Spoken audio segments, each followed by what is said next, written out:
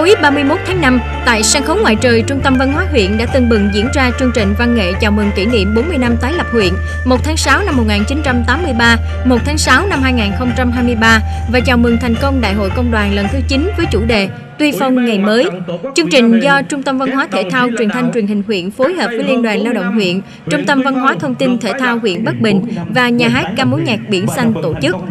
Tới dự có ông Nguyễn Thành Siên, Phó Bí thư Thường trực huyện ủy, Chủ tịch Hội đồng Nhân dân huyện, ông Dương Hồng Sơn, Phó Chủ tịch Ủy ban Nhân dân huyện, lãnh đạo các phòng ban ngành đoàn thể huyện Tuy Phong, đại diện lãnh đạo huyện Bắc Bình, lãnh đạo Phòng Văn hóa và Thông tin, Trung tâm Văn hóa Thông tin và Thể thao Bắc Bình, đại diện các công đoàn cơ sở nghiệp đoàn trực thuộc huyện Tuy Phong, Đông đảo nhân dân trên địa bàn huyện cũng đã đến thưởng thức các tiết mục ca múa nhạc và hòa nhịp cùng không khí sôi động giàu cảm xúc tại đêm giao lưu văn nghệ.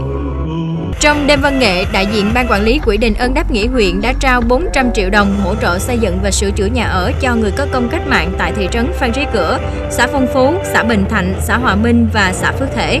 288 đoàn viên có hoàn cảnh khó khăn cũng được Liên đoàn Lao động huyện hỗ trợ 500.000 đồng trên một người và nhận một suất quà từ Đại Đức Thích Nguyên Chiếu, chủ trì tu viện Kim Cang, huyện Bình Chánh, thành phố Hồ Chí Minh.